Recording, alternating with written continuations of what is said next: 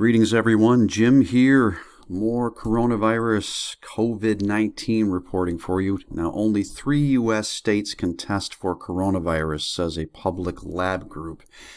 California, Nebraska, and Illinois are the only U.S. states that can currently test for coronavirus, and this was according to the Association of Public Health Laboratories, and they uh, told Reuters this on Friday.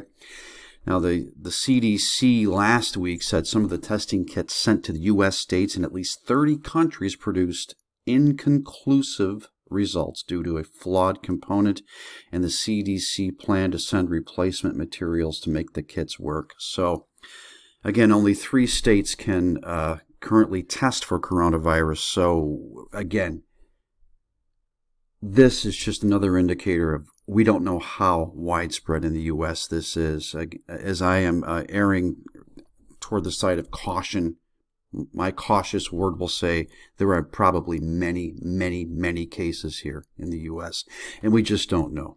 So you need to take precautions, folks. Um, I would even consider at this point, I, hate to sound uh, overly paranoid, but maybe you want to avoid large gatherings how soon might, might we see uh, school closures? Uh, how soon might we see businesses closing because of this? I'm, I'm just spitballing here, thinking ahead. I'm sure some of you are too.